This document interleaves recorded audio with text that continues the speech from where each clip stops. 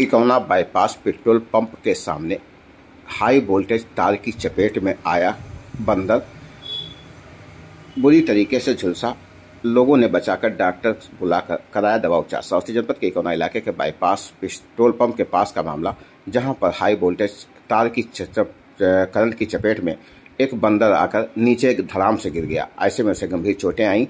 आसपास के लोगों ने जमा होकर बंदर को उठाकर दूध पिलाया और डॉक्टर बुलाकर उसका दवा उपचार कराया। श्रावस्ती जनपद के कोना इलाके के बाईपास पेट्रोल पंप के पास की ये तस्वीरें हैं, जहाँ पर जब इसकी जानकारी विद्युत कर्मियों को हुई तो विद्युत कर्मी गोली व अन्य लोग मौके पर पहुँचे और उन्होंने सप्लाई को काटते हुए बंदर का दवा उपचार भी कराया। श्रावस्ती जनपद के इकोना बाईपास पेट्रोल पंप के पास की ये तस्वीरें हैं, जहाँ पर लोगों का जमावड़ा लगा रहा और पशु चिकित्सक ने पहुंचकर बंदर का दवा उपचार किया। श्रावस्ती जनपद के इकोना बाईपास का है पूरा मामला।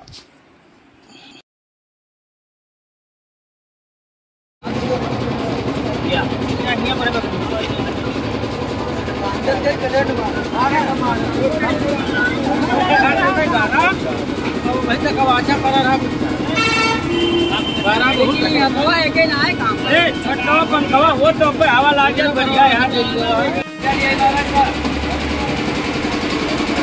नहीं पियता है। वो बहुत चक्का है रुको रुको रुको रुको चल यार रुको चल गया था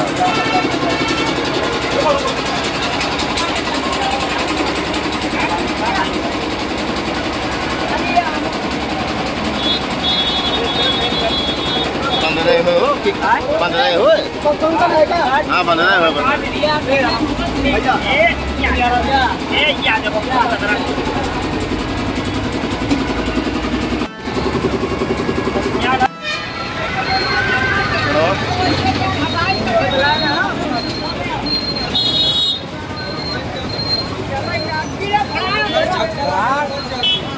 ये ये ये देखो